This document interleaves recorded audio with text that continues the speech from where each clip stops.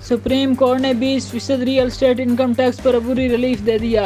Supreme court of Pakistan ने गुजशत रोज real estate पर 20 फ़ीसद इनकम टैक्स के खिलाफ अबूरी फैसला देते हुए एफ़ बी आर को प्रॉपर्टी सेक्टर से नाफिज टैक्स को निसफ वसूल करने के कमाल जारी किए हैं। तफसीत के मुताबिक चीफ जस्टिस उमरता बंदयाल की सरबराही में खसूसी बेंच ने टैक्स दंदगान को अदालत उजमा की जानब छठवीं फैसला आने तक सिर्फ़ पचास फ़ीसद इनकम टैक्स अदा करने का हुक्म दिया।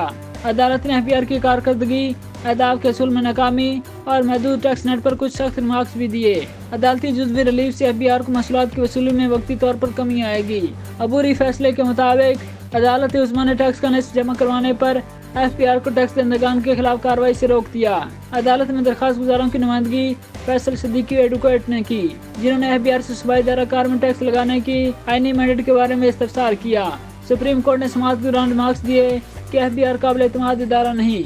और ये टैक्स अदा करने वालों पर दोबारा बोझ डाल रहा है। एफ़ बी आर को नौ माह में मसूलत का हदफ हासिल करने के लिए एक हफ़्ते में पाँच सौ साठ अरब रुपए जमा करने का मुश्किल मरहला दरपेश है। रियलिटी और मैनुफैक्चरिंग सेक्टर ने सेक्शन सेवन ई के खिलाफ दरखास्तें दायर की, जो हुकूमत ने पिछले साल जून में मुतारफ करवाई थी, ताकि इन लोगों पर टैक्स आयद किया जा सके, जिन्होंने पाकिस्तान में मौजूद सरमाए की मुनफाना मार्केट वैल्यू की पाँच फ़ीसद के बराबर आमदनी हासिल की। इनसे बीस फ़ीसद टैक्स वसूल किया जाएगा। दूसरी तरफ़ अभी आपका कहना है कि टैक्स की मौसर शरा एक फ़ीसद है, जिसका मकसद पंद्रह अरब रुपए का इजाफी रेवन्यू इकट्ठा करना है।